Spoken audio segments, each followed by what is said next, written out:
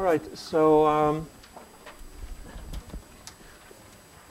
we had uh, started some. Uh, in, in, so we were busy talking about composition of steels and uh, relation to um, how you can make different microstructures, and now we're going through the discussion of compositions and how they affect uh, the, um, the strength properties. And I told you uh, that strengthening um, could be achieved by um,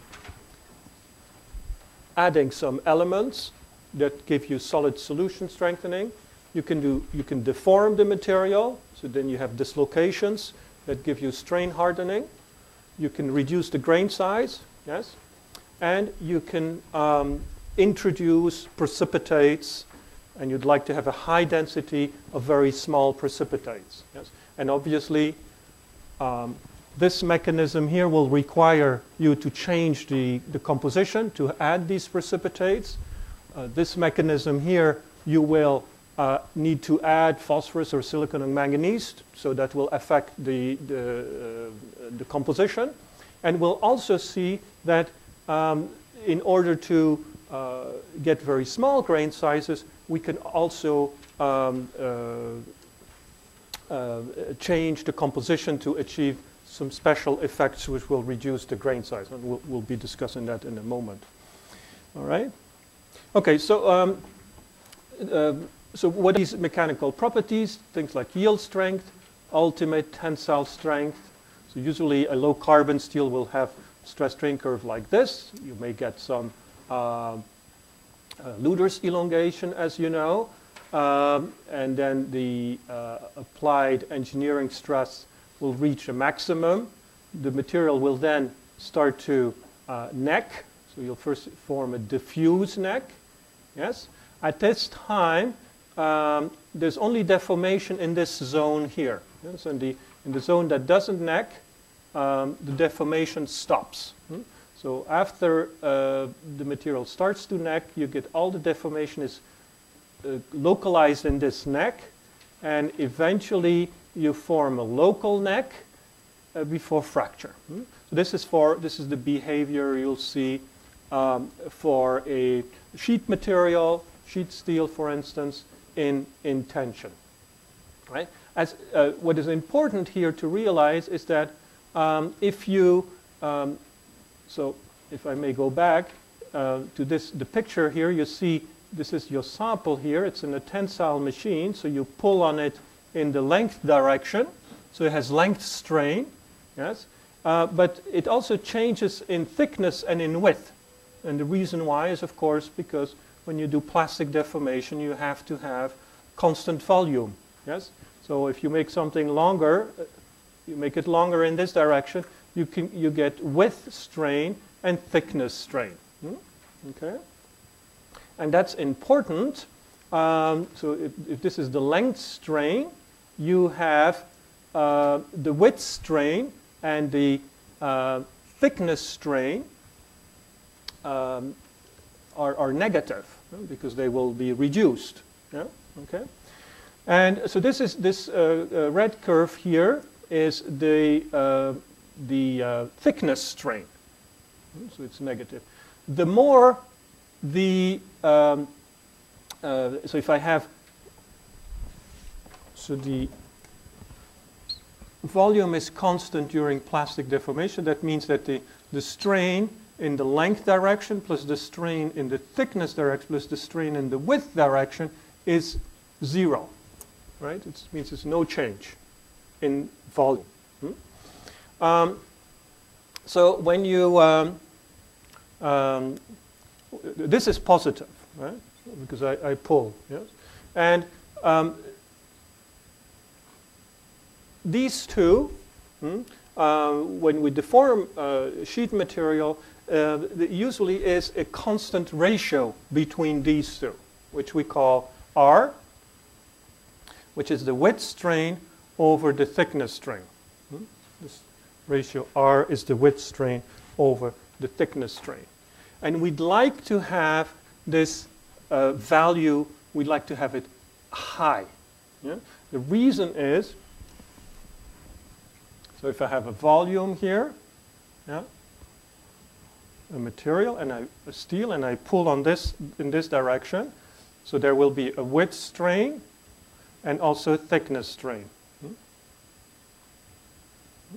So you want the width strain to be larger than the thickness strain. Why? Because when something gets thinner, yes, there is a higher risk that it will fracture, and that it will, buck, that it will uh, uh, that the, the, the, formation will uh, localize and you will get fracture. Hmm? That's the reason why we like to have uh, materials with this R value, width strain over thickness strain, posit- uh, uh, large, large, positive and large, of course. Yes.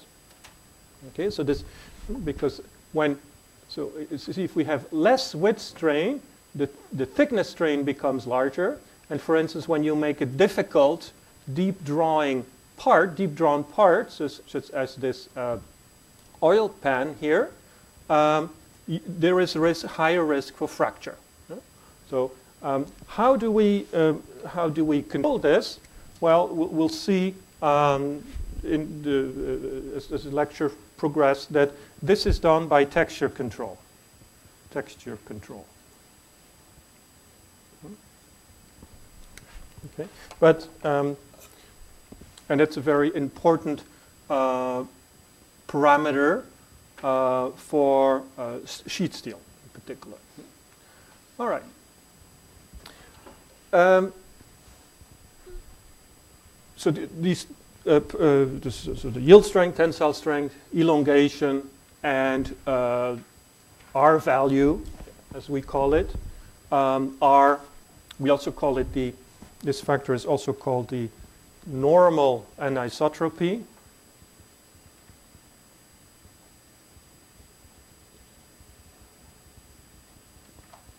The normal anisotropy, yes, um, have to be high. Yeah. And uh, we control, uh, we can control the strength, for instance, by means of uh, solid solution um, hardening. Um, another um, thing we uh, like to control is the, the grain size, yes? And, um, and you know that that's the reason is because this equation, uh, uh, which is an empirical equation, yes, appears to hold in many cases for steels. Uh, and it basically says that if you reduce the grain size, uh, so the grain size is smaller, if you uh, plot here in the x-axis 1 over square root of d, you get a higher strength. Hmm? So that's a very nice way to get a large strength. Yeah? In um, uh, technology, in, in uh, steel industry, we, we usually do not define a grain size the same way you do in research. Yeah?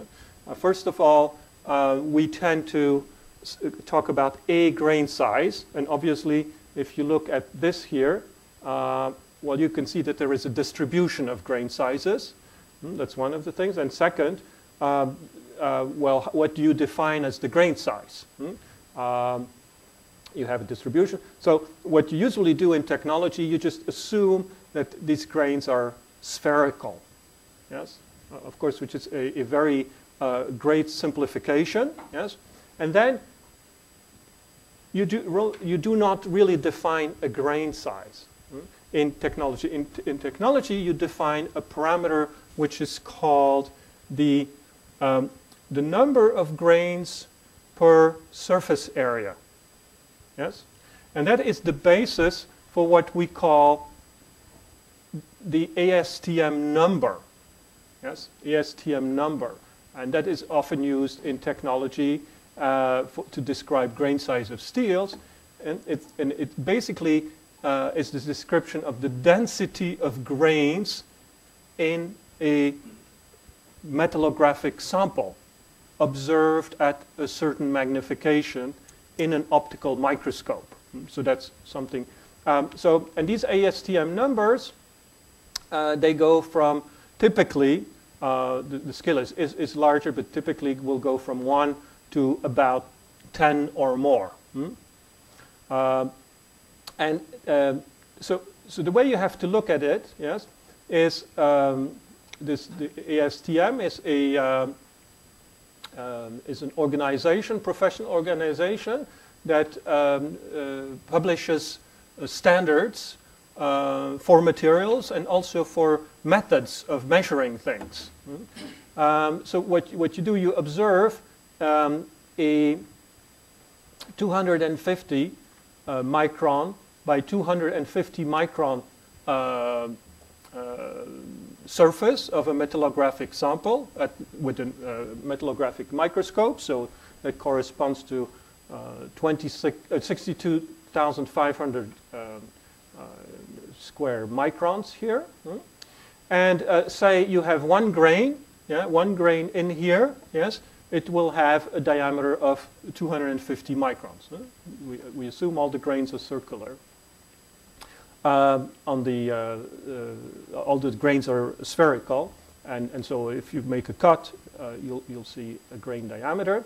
Um, so this is so I have one grain with uh, 250. so um, and um, if I have excuse me a grain that's only one micron in size, I will have I can put um, if I would fill this surface 512 uh, grains. Okay, so so um, you see here, grain diameter 250 corresponds with ASTM number of 1. Yes? So that means uh, this is the size of this uh, grain, um, uh, the, the surface covered by this grain. So the number of grains per surface is 1. Yes?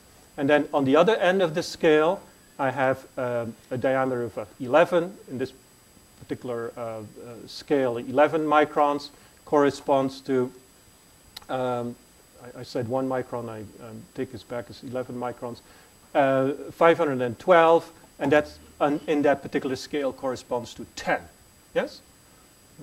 And, and for those who are familiar with uh, steels, you know that uh, most of the grain sizes uh, for steels will be within that range of air, uh, grains. Hmm? Okay, and um, so so, so that's how grain size is, defined from a technical point of view. Yeah? And so uh, using this formula here, you can uh, go from the, the ASTM number to the grain diameter. Yes, and you, you find a single number. Okay, but you have to be aware of the fact that uh, uh, it's, it's, it's, it's not defined this, the way you would expect. Hmm? Um, in research, we, what we will do is uh, we will measure, for instance, intercept lengths and average that.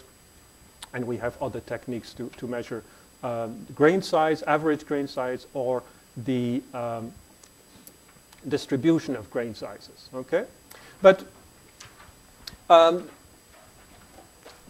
so we, won't be talking about this. So we, will just assume that there is uh, that the grain size we get from, for instance, ASTM technique uh, that measures the, uh, the um, surface area of, of uh, surface density of grains, that that's, that's uh, the good way to, uh, to obtain a grain size. Um, what happens to material when we go reducing the grain size, yes, is everything positive? Usually we like to think that it is positive. So definitely we know we get an increase in yield strength and an increase in uh, UTS. Um, we do get also an improvement in toughness. Now, toughness uh, doesn't mean that the elongation increases. On the contrary, you get less elongation when you reduce the grain size. You get less elongation. Okay? So the material has less plasticity. What, so what's, what's the meaning of toughness? The, the toughness refers to the resistance that the material uh, gives to uh, fracture propagation. Yes, that's different from plasticity. Um, why is it that we get less uniform elongation um, when uh, we reduce the grain size? It's because, so if this is the um, you may have to write this down because it's not in the slide. When, um, when we um, look at the Hall-Petch equation for the yield strength, we find a curve like this. Yes? And when we uh, do, uh, you can measure the, uh, the Hall-Petch equation also for the tensile strength. Yes? And if you do that, the tensile strength, uh, you find something, a line which has a, a slope that is smaller. Yes? So what does this mean? Is that there is a grain size here, yes, where the yield strength and the tensile strength are the same. Yes? Yes? And when you have yield strength is the same as tensile strength, you have no elongation anymore. Yes? It's like, uh, if, if I have something like, like this, so it's like the yield strength becomes the same as this, right? So that means I have no, no elongation, no uniform elongation anymore. Yes? Uh, so, so that's what you generally see is that uh, grain size has negative impact on, on uh, plasticity. Hmm? So um, uh, it, it's, it's, something you, you have to be aware of when you um, improve matters um, through grain size um, reduction. Um, now, how do we control the grain size in, uh, in steel in technological uh, circumstances? Well, we usually do that during uh, hot deformation of the material. And so let's have a look at what happens when we do hot deformation of a steel in a hot strip mill. In a hot strip mill, we roll the material at different temperatures. Yes. So what do we get? Uh, well, first of all, this graph shows the temperature as a function of time, position in the mill, and you uh, and these wiggles here are deformation steps. You can think of them as being um, uh, uh in a rolling mill. These would be rolling passes. Hmm? So in the uh, so you start with the material is uh, at high temperatures, high temperatures. So we know it's austenite, yeah? Hmm? And uh, you roll it, you roll it, and uh, then you pass it through another mill, roll it again. Uh, there can be many steps of this time, four or five steps of uh, what we call roughing mill at, at relatively high temperatures. What is high temperature? 1100 degrees Celsius or more, yes? And what you get is the uh, austenite deforms and recrystallizes constantly. As you deform it, it recrystallizes and it becomes soft again. Hmm? Uh, as it recrystallizes, I get some grain refinement, yes? But the grains refine and then they grow. And it's good because we are at high temperatures, uh, the kinetics of this grain growth is, is, is actually rather fast. Yeah. Um, so even though we, we do a lot of deformation, there's a lot of deformation plus recrystallization, yes, um, we end up with a relatively coarse uh, austenite grain, yes, and then we go through a very thin region, which is called the non-recrystallization region. It's a very small region where the austenite, if we were able to deform in this particular region, um, the austenite would not recrystallize.